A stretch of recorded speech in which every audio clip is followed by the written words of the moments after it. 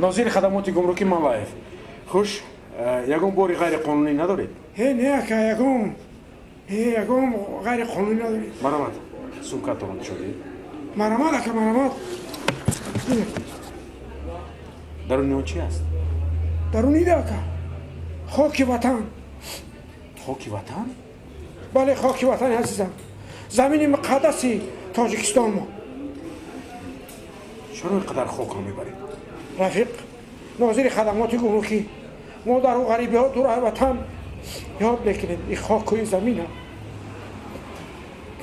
بعدی که اگر یکان گپ شب آدمی در اون مسافری که مردمانیم خاک عزیز وطن ما قدیمون باید باشد برای هم حقیقت خاک وطن قدیم گفته بود نیست. راز گفتید راز گفتید.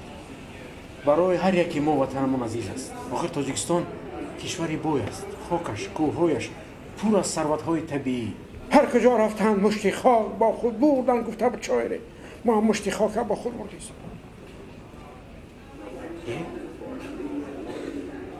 این چی؟ یا تو رنگی که تیلا باشه. تیلا؟